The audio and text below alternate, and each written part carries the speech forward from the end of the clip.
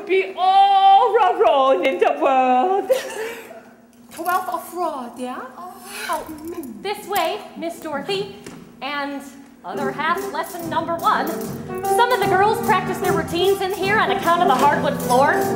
I think it did something to the machinery though, because now you have to tap dance to get this thing going.